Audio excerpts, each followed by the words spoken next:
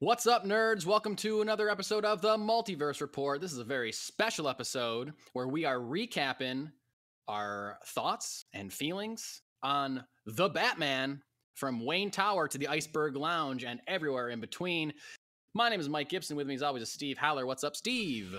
Well, apparently a really long and really good movie from everything I'm hearing. Um, I have not Yeah. seen it myself, so I think this one's going to be pretty Gibson heavy.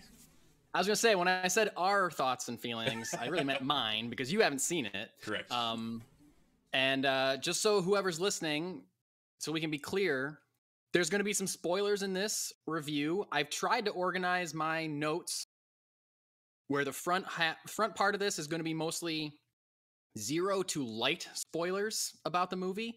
Uh, and then the back end, I'm going to do get into some major spoilers, plot, uh, things like that that I enjoyed specific specifically from the movie. Um, so if you don't want any spoilers for this movie, don't listen to anything they're about to say. If you kind of want to know my general thoughts on things and maybe some again light spoilers that won't ruin the movie for you, um, then listen to half of it. And when we tell you to stop, then stop listening. I will make an announcement when we're about to go into the heavy spoiler territory. I believe even Steve at that point will take his headphones off because he doesn't want to uh, know all these things either. But until until Mike waves at me like a crazy person, I will have my headphones off. Yes. Yeah. So, okay, yeah. The Batman opened. I guess, you know, technically Thursday night. There were some Wednesday night previews. Um uh Friday was the major opening. It has earned currently, last I checked, $128.5 million domestically and $248.5 worldwide million dollars worldwide.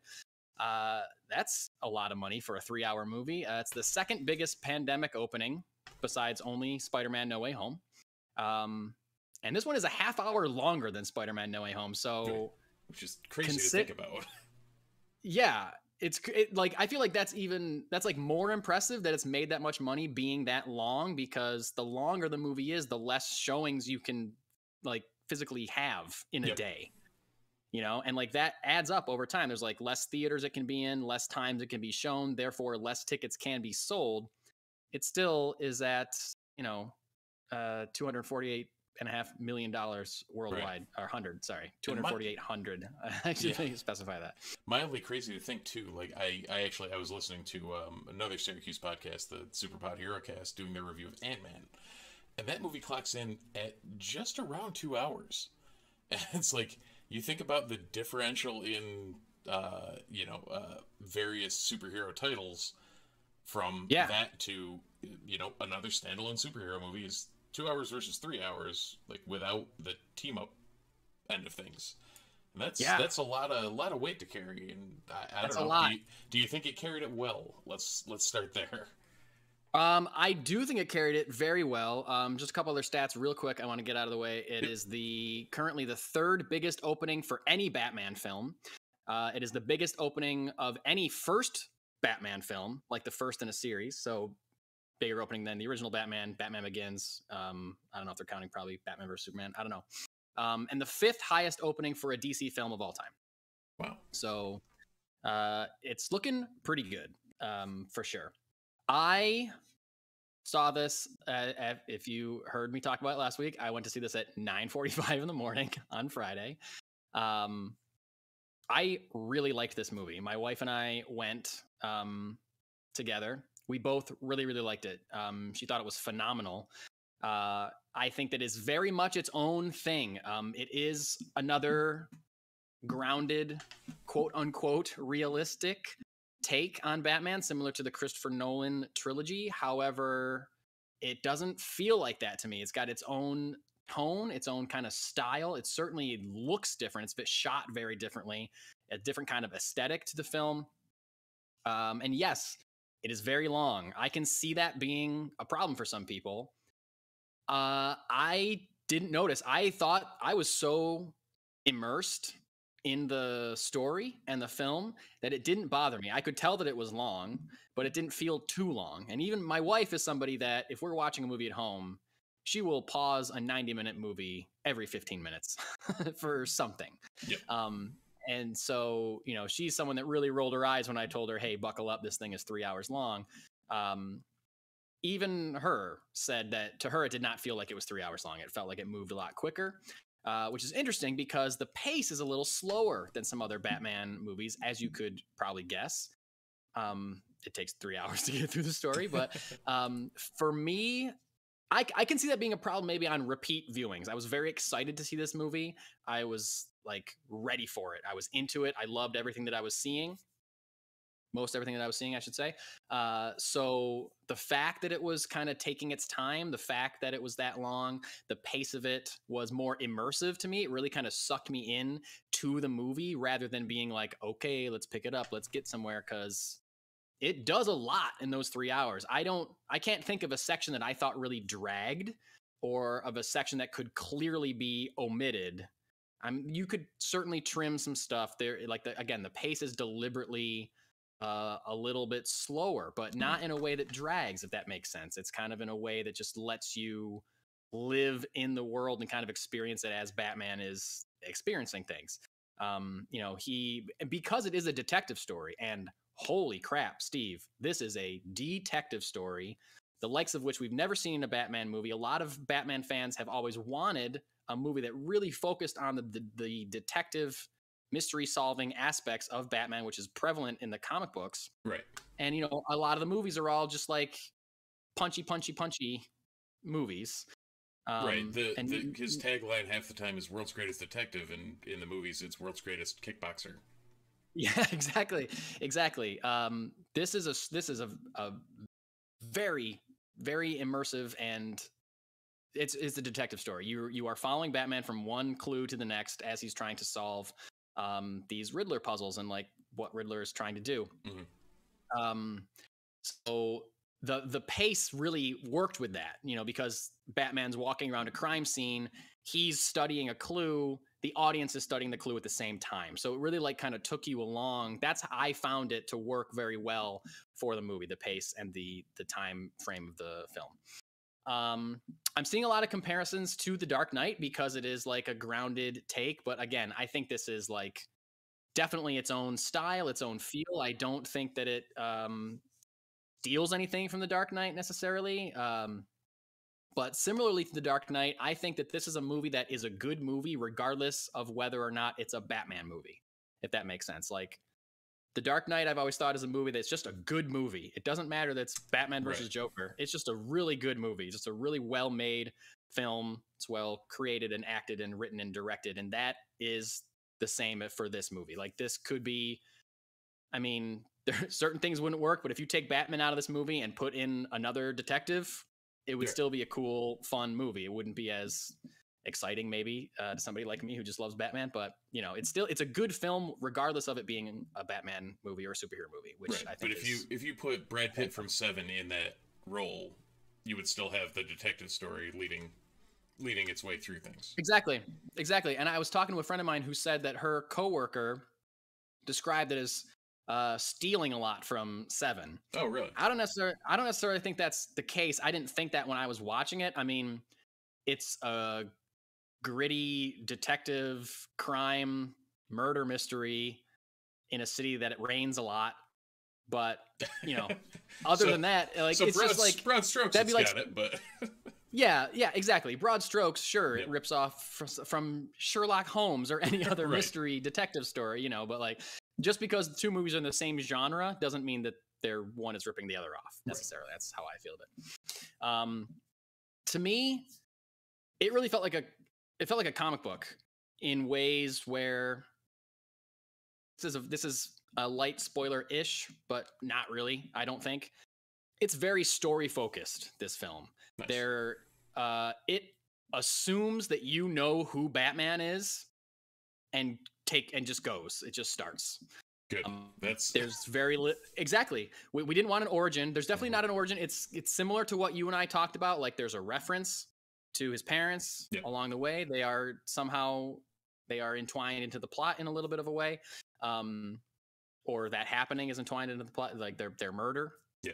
they re- they reference it definitely not an origin story um and there's not a whole lot of like setup for like I mean, there is, but I guess it's done in a kind of a different way where it just feels like it starts like the story. It starts with the initial, like the uh, catalyst of the story. You witness it, and then you just it, you just go, and it just follows this story the whole time. You're just with Batman, going from clue to clue to clue to clue to clue to figure it out what happens. Um, so there's no real there's and there, there's no exposition. Like at no point does he say to Catwoman like or Gordon or anybody like I do this because I made a vow or anything like that. You know that we've seen in every Batman movie ever. He's just he's just doing it. And you Yeah. know you can infer that either from what you do find out in the movie or that you've seen one other Batman movie. Right. You kind of get it, right? So it's like kind of unnecessary. And I've seen people kind of brush up against that in their criticisms as well. And it's like you don't really need that. Like you don't need James Bond to reintroduce himself every time. Right. You get it, you know. And Doesn't matter. And much like Um, Batman, he's different people every time too. So what the heck? Yeah, sure. You still know Um, he's gonna be. Uh, my yeah. question: How's Pattinson's Batman voice? Um, okay, perfect. I was literally just getting into uh, actors and what I thought. Oh, there you go. See, I'm just here to segue for you, buddy. Perfect. No, again, light light spoiler. Uh, there is no big effect on his voice, a la Christian Bale or Ben Affleck. Whether it's uh, like Christian Bale supposedly is actually making that incredibly dark, gritty, uh, distorted voice, or in the Ben Affleck Snyder movies when it's deliberately made, he's like deliberately distorting his voice mechanically or you Right, know with technology or or something whatever. to Yep. to disguise his voice. Um, he's just it's it's more like Michael Keaton does it. and those, he's just talking. He's just talking like this. Just talking with a whisper, rasp kind of thing, which works so Yeah. well for me. Um, it just seems more natural. It it doesn't uh, take you out of the film. Like I watched Dark Knight this week, and I think you and I talked about it recently. How they really dial up the voice in Dark Knight uh, from Batman Begins, but especially there's a the scene at the end when Joker's hanging upside down and he's talking. That is just like Mhm. too just distractingly distorted for me. Right. Like, all you proved is that a city is gonna stand up to a man. Like, like, whoa, man, take it down. Like, it's a little too much for me. that, that can't be good for your Um, vocal cords. Just chill, dude. Yeah, I know. Yeah, chill out, Batman. Um, Pattinson in general, I think is great. He is great in this role. He's definitely like his own. Every everything in this movie is unique to the Batman mythos, I believe. In as far as film is concerned, I think Patman, Pat, Patman, Pattinson. Uh, I've heard Battinson. I haven't heard anyone say Patman. Patman. So All let's right. copyright that one. Yeah. Trademark multiverse report. Patman. um, he's so good. He's very intimidating when he needs to be. There are times he does so much with his eyes. He does more with his eyes, I think, than any other Batman actor ever. Um, there's a lot of close-ups of him where he's like examining a crime scene or listening for something or just interacting with a character where there's just so much portrayed through his eye movements. Yep. Um, it's one, it's wonderful. Yeah, he's so good. Um, like you can tell, like when he's being intimidating, like with a criminal, like a street thug or something. His eye, like he's, uh, you know, like I'm going to beat the hell from you, kind of uh, intensity from his eyes. I mean, there's uh, times later on where he's more unsure of himself. This again, this is they they make it clear in the movie he's new at this. He's been doing this for two years, Right. and so um, uh, he's like he's a Batman that is fully formed, like he is Batman, but he's unrefined still. If that makes sense, like he's still getting good at what he's doing. He's making mistakes. We see him make mistakes in the film, some very prominently. Yeah. Um, and so there are times when he's being challenged by whether it be Riddler or Selina or Gordon or a police officer or something like that, where you can tell in his eyes he's like, I'm not entirely sure what I should be doing right now, you know, or like, is this too far? What am I doing? You know, um, he tells a really great story through his character in his eyes, and uh, it's great. I'll talk a little bit more about that uh, when I get to the spoilers.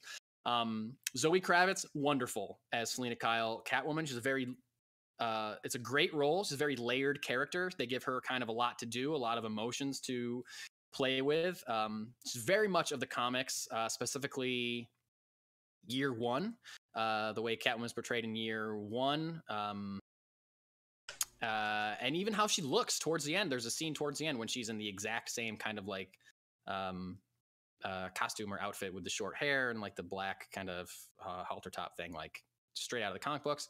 Um, uh, she's wonderful. Paul Dano is the Riddler, super creepy.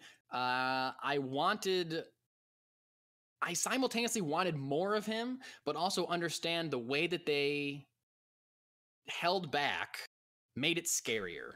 Um, and in the reviews or descriptions we've heard of this movie as it being called almost a horror movie, it is almost a horror movie because of Paul Dano's Riddler. That's all I'm going to say. Okay. Um, J- Jeffrey Wright as Commissioner Gordon, incredible. I loved him. He's not. Oh, sorry, he's not commissioner yet. It's you know, again, it's like a these characters are there, but they're not all at their peak yet. Right. Even somebody like Riddler or Selina Kyle, like they're not like peak Riddler or peak Catwoman. Like you can tell there's more like refining to go on these characters, and hopefully down the line, if they come back, we'll see more fully formed versions of them. It's like this movie's like it's not an origin story, but it kind of is at the same time. It's just like we're seeing the early incarnations of these, and you really get a feeling that they are going to develop. And uh, that is true for Batman. There is an arc for Batman in this movie that I didn't really expect, but it definitely trends towards and gives you an idea of what we might see if there is a sequel. And I'm assuming that there is going to be a sequel. Right. Um, uh, but yeah, it's cool to see uh, Gordon. I, I, don't know what his title, if it's Sergeant or Lieutenant Captain Gordon. I'm not sure what it actually is, but um, he's really like getting his, getting his hands dirty with Batman um, a lot, and like really on the ground investigating where they, with where Batman. They forge the where they forge the bond type thing. Yeah, absolutely. Yeah, Okay. and talking about Bond, he's very like casual. Batman. This is like a minor, very minor Yeah. spoiler. He calls him man a lot, like colloquially, like you gotta get out of here, man. like a lot like that. I just thought it was it was like funny, but also like true Yeah. to his version of the character, and uh, shows their kind of relationship in a way that I haven't really seen before, and I really, really like. Like they are really working together. They they trust each other more so than I almost in any other incarnation of the two characters. I think is great. Dude, Uh, you gotta Colin- get out of here. Yeah.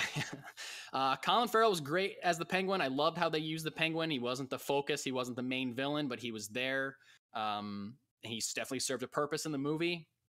I thought he was great. I had to lean over to my wife and remind her that it was Colin Farrell because that makeup is incredible, Yep.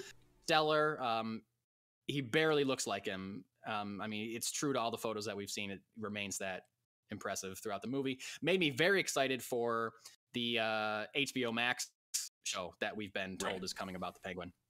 Very excited to see that. Uh, best in the cast, best in the cast, John Turturro as Carmine Falcone, hands down, flooring performance. And I gotta say, I loved that they called him Carmine Falcone and not Carmelo Falcone like they did in the Nolan movies, because I always read it as Falcone. There's no I at the end of that name. I read it as Mhm. Falcone. It was weird to me that I had to start saying Falcone when the Christopher Nolan movies were coming out. Now I don't have to do anymore. It's Falcone. He was just tremendous, just Nice. tremendous in that role. And I almost forgot that he was in it because you go in knowing it's a Riddler, it's Catwoman, it's uh, you know, all the other people. I mean, I'm not He's gonna. great. I'm not gonna lie. I completely forgot until you just said that. Like, I know we've Yeah. talked about it on the cast or the pod before, but like, had no idea. Yeah, exactly. Um, if you if anyone out there is listening and you're looking for reading material that will either prep you for seeing this movie or uh, you want more of this kind of style, I gotta recommend Batman Year One, Batman The Long Halloween, and Batman then the sequel to Long Halloween, Batman Dark Victory. Uh, they took from those three books and uh, others too, e- like uh, Batman Ego um, is another one that was kind of referenced, but those three are clearly the main source material, I think, uh, for this movie. Like, um, minor spoiler: the events kick off on Halloween night. Clearly, reference to Long Halloween and other things that happen within the movie happen in the events of those three books. And Long Halloween is a unofficial sequel to Year One, so it really kind of all works together. So I would recommend those three.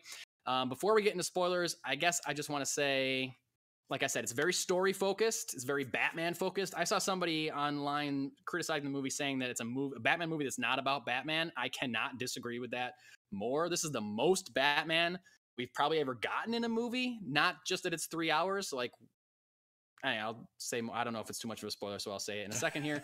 um, gen- my general closing thoughts: This is a world that I want more of. Um, I want to see other Batman characters alive in this universe, allies, villains, whatever. Like I really liked the feel and the noir take of uh, this uh, on the Batman character. I loved the way Gotham was shot and way the Gotham felt like another city. It wasn't just like Chicago, like it is mm-hmm. in the Dark Knight or the Nolan movies or whatever. It felt like its own thing for the first time in a while. Um, and I really liked it. I, am dying to see it again. It comes on HBO Max on April 18th. So if you're avoiding theaters still or you're not comfortable going, you don't have that long to wait. So mid April, nice. um, you get to see it on HBO Max. So as of now, I am going to jump into spoiler territory. So wait, Steve has you have a question? Yeah, prior to that, if anyone's jumping off before spoiler territory, feel free to like, subscribe, uh, you know, leave us reviews. Um, we want to hear more from you. Uh, multiverse support at gmail.com, themultiversereport.com, multiverse support on all the socials. Check us out. Um, and uh, now on to Mike's spoiler review. All right. So here comes spoilers. Steve, uh, yeah, headphones are going off. Okay. Um, so much I loved about this movie. The beginning, where there was just kind of like a sequence of criminals that are they know about the Batman. Like they make it clear that Batman has been working in Gotham for a while. It's not he's not brand new, like they say, two years, and that's enough for criminals to be scared of him. So I loved all the staring into a dark alleyway, half expecting him to walk out, or staring around, looking around a corner and half expecting him to be there. He's already made this mark. So cool. So such a great way to like make him a, make him like a, a living legend already in the city. Like people know that he's out there and they are scared of him. Um, I really like the grounded aspect of it and grounded in a way um, that was different from the Nolan version of grounding it. Like he he's walking around Gotham City streets in a hoodie and a backpack and a hat with his costume on under his jacket with like his cowl and the cape in the backpack or whatever, like Spider-Man style. He can run down a dark alley and change real quick and be Batman. Like we've never seen that. I don't I don't think I've ever seen that in a comic book, let alone a movie. But how much sense does that make? That he would just want access to his stuff immediately when he sees a mugging. He can just take care of it. Um, and even like I don't know if there's there I don't know if there is a Wayne Manor in this version of Batman because he lives in Wayne Tower in the city. And I gotta say, I miss Wayne Manor and I miss a regular Batcave, but how much, like, thinking of it logically, of course he wouldn't want to live 10 miles outside of the city limits to be Batman. He'd want to live right there where he can access everything or access the city um, quicker. I love seeing him work directly with the Gotham City uh, police force, like on uh, crime scenes looking through evidence and some cops don't want him there some cops are okay with it you know i really liked that it was such a cool uh, thing that we don't see that much in the comic books a little bit in the dark knight but uh, very rarely have we seen it in the films i loved it um, the biggest criticism that i'm seeing about this movie is that robert pattinson is a bad bruce wayne I don't understand that. I don't think he was a bad Bruce Wayne. I think this is a different Bruce Wayne than you are used to seeing, if that's something that you thought. I think that this is not necessarily billionaire playboy. I'm aloof uh, to distract people from my real self, Bruce Wayne. I don't. Maybe he'll develop that persona, but I don't think he's gotten there yet. I think this is. I'm still uh, emotionally stunted uh, by my life or whatever has happened to me. I have been uh, caged up in this. I, I'm so I'm so obsessed with the what I'm doing with Batman that I cannot be billionaire playboy Bruce Wayne maybe he'll some maybe he'll get there. Maybe you know they made a big deal about him emerging in this movie, so maybe in the second movie we'll see more of that. But this is a very different Bruce Wayne. And I really liked it. Matt Reeves himself said he based it on uh, reclusive, like Kurt Cobain style figure, and I think that was great. So I thought he was great as Bruce Wayne. But saying that, this is clear. This is maybe the only Batman movie where he is Batman way more than he is Bruce Wayne. We see very little of Bruce Wayne in this movie. It's almost like playing an Arkham uh, video game where you're just Batman the whole time, and you are with Batman the whole time. That's something that I loved about it. And when I said earlier that I wanted more Riddler, uh, it's because we don't get the classic superhero movie thing where we're with Batman for a little bit and then we jump over here to say to see what the villain is doing. Like, oh, now we're going to go to Riddler and Riddler's going to talk about what his plot is and why he's doing the things that he's doing. And we don't get that. You're with Batman the whole time. You don't know anything that Batman doesn't know, which makes the mystery work so much more for me because you are so invested in finding out what the answers are as Batman is finding them out. You are trying to solve the mystery as the audience at the same time as Batman is. And I think that was so cool. Again, yes, it did make me wish there was a little bit more Riddler, but the scene that we got with the two of them at the end in Arkham, so cool. Um, love that so much. Um, I got to say that I loved the flight suit uh, when he's escaping the Gotham City Police Department and he runs up to the top of the building and he stops because he's scared. It's like you can tell this is the first time he's ever jumped off a building and he's about to do it because he has to. You've never seen that before. It's so cool. He pulls the cord, his flight suit uh, inflates, and then his disastrous landing is just like, oh, this is so cool. Of like a again, it's a year two. He's not good at it yet. He's not refined. He's making mistakes. His parachute comes out, catches on a bridge, and he flies down straight into the road and rolls and limps away. Like he's making mistakes. He's trying to figure out how to be peak Batman, and he's not there yet. And I just love seeing that uh, development. Um, okay, biggest spoiler so far. I think I'm going long on this, so I'm going to try to wrap this up. But okay, big spoiler. If you're if you're listening, if you really if you're just going along, if you're lazy and you don't want to change it, this is a big spoiler. All right, it's a big one. Okay, this is the last time. Three, two, one. Hmm. Joker the Joker is in this movie. Um, uh, apparently, this got leaked like a week before. I didn't see it, and I'm glad I didn't see it. Uh, there's a scene towards the end of the movie where Riddler is incarcerated in Arkham Asylum. Who's next to him in the cell? Oh, someone with a giant grinning grin who's laughing maniacally and um, saying some weird uh, stuff to Riddler, becoming friends with him. Uh, this was uh, Barry Koenig Kroger. I can't. I don't remember the last name. I'm I'm losing it now. Um, he was in Eternals. What's the dude's name? Where's the cast listing? Where is the cast listing? Uh, Barry Keoghan. Barry Keoghan um, plays uh, the Joker, and um, apparently there was another scene that was deleted from this uh, earlier in the movie where Batman goes to Arkham to question the Joker about what the Riddler is doing, and if there's like kind of like a Silence of the Lambs Hannibal Lecter kind of style. Um, and that was made to show the audience that these two characters already have a history. These two characters already know each other. This is like a living, breathing Gotham. And that's still what Matt Reeves was trying to do by having it at the end. He ended up cutting the scene. He's gonna. He said, he said it's gonna be on whatever Blu-ray release or whatever comes out. So we will get to see it. But he cut it because of the pace of the movie. Was it was just taking away from the drive of the story, which makes total sense. Still included it at the end. Um, again, to signify that this is like a breathing world, a world that already exists. These characters are already here. Not everything is an origin.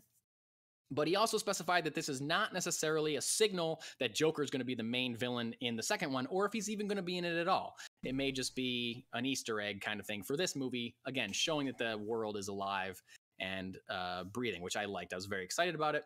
Personally, I'm a little jokered out. I'd be fine going another movie without the Joker as the main villain. I've seen a lot of the Joker lately in movies and in comic books give me somebody else. Give me a Mr. Freeze or give me a Black Mask or somebody. Anybody else. Um, obviously, I would love it if we find out more about this Joker, but you know, I'm just saying. Um, so anyway, the ending I thought was very unique because Riddler's already in jail. And so the end is Batman fighting his henchmen, basically, more or less, and not fighting Riddler because Riddler's already been taken out. So at first I was like, ah, shouldn't this be the Riddler? And I was like, no, it shouldn't be because this is scarier. These are maniacal people radicalized and inspired by Riddler that are carrying out his orders with guns in a crowded place. Like that's terrifying, and that happens in real life. So I thought it was great after the fact, after I thought about it for a second, and I can't wait to see it again so I can really appreciate that moment even more. And I thought it was a way to uh, kind of upset the status quo of superhero films. Something, a way to do it in a way that hasn't been done before, where the final battle isn't between the main bad guy and the hero. Um, it's just like another. It shows the influence of bad people and how uh, terrible effect that can have on uh, people. I don't know. Loved it. Um, last thing I'll say is I love the evolution of Batman, and uh, in this movie, uh, people I don't understand people that are saying that there's no character uh, development or character arc for Batman. There clearly is. He's somebody that is focused on vengeance. At the beginning, they keep calling him vengeance for three hours, and then at the end, he realizes that he can be a symbol of hope and inspiration for people. He's saving people, guiding people away from danger. He's at the. I got emotional at the end when he's setting that woman on the lift for the helicopter, and she grabs his arm like she's scared to let go. She trusts him more than she trusts the people that uh, are taking her away, and that like. Uh, like the look on his face as he looked down and realized who he had become the fact that he is uh just he's not hiding from the people of Gotham anymore. He is right there helping them because he knows that's where he needs to be. So it's not like he's this far away symbol that's you know hides behind hides in the shadows or hides uh you know behind on, on rooftops or anything anymore. He's not that anymore, which he says in the beginning of the movie, "I am the shadows," which was badass. But at the end, he's not that anymore, or he's learning his he's developing a public persona and a pu- public acceptance of the people of Gotham City, which I really like that idea where he's going to be this public hero, maybe, or a known hero, not just a rumor. Like the rumor stuff is cool, but we've seen that so many times. I think I'm excited for a, kind of a different view here. So anyway, that those are my thoughts. I really like this movie. I'm dying to see it again. I don't know if I'll be able to see it in the theater again, but I'll definitely watch it a million times on HBO Max uh, next month when it's out. Um, again, we've talked on the show about uh, the sequel being underway already, or talks for the sequel being underway already.